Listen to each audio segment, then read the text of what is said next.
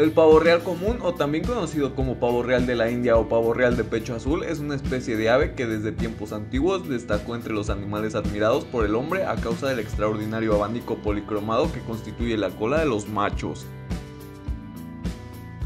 El macho de esta especie tiene una longitud de entre 195 a 225 centímetros hasta el extremo de las largas plumas que conforman el abanico.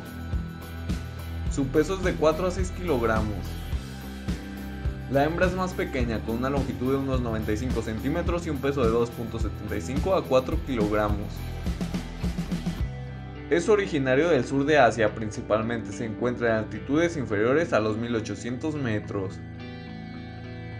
Viven en bosques tanto húmedos como secos, pero se adaptan a la vida en regiones de cultivos y alrededor de poblaciones humanas, frecuentemente donde hay disponibilidad de agua.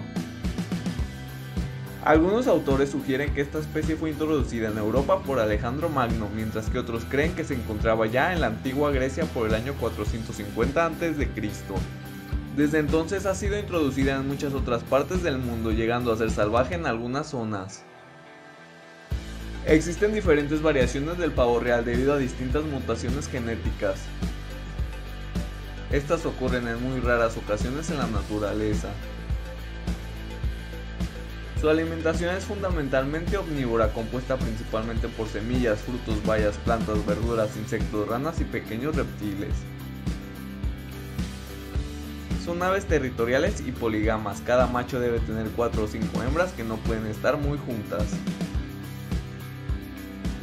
Son muy sensibles a la humedad excesiva y a las bajas temperaturas, pueden contraer enfermedades respiratorias, tuberculosis e infecciones intestinales. En temperaturas bajas a 2 grados centígrados pueden llegar a entumecerse de las patas provocando que pierdan movilidad. La simbología del pavo real es muy grande ya que su majestuosidad llamó la atención del hombre desde épocas pasadas. Aunque se le asocie con el concepto de vanidad, el pavo real es en casi todas las culturas un símbolo solar relacionado con la belleza, la gloria, la inmortalidad y la sabiduría. Su estado de conservación es de preocupación menor.